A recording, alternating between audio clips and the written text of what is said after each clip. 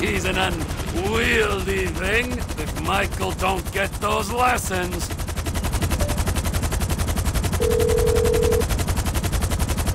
How you doing, Trev?